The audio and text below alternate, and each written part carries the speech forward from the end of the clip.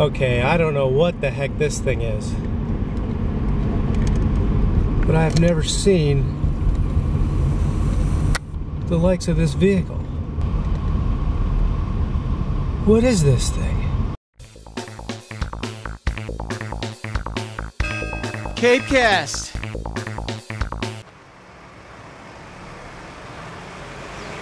Meet me up at Skaket Corner. All right.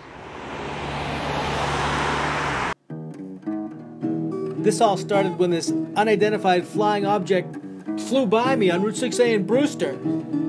On the road, of course, a vehicle of some kind. I turned around and tried to chase it, but it was flying. Finally, I caught up, got a look at it, and kept going. This guy didn't seem to want to stop. I got to the Brewster General Store. Here he came. Meet me up at Skaket Corner. All right.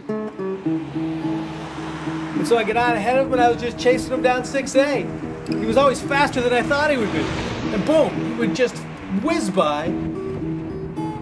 Barely I got a glimpse of this odd machine. What could it be? There he is in traffic in Orleans. Just like a regular car, rocket, flying saucer. What is this thing?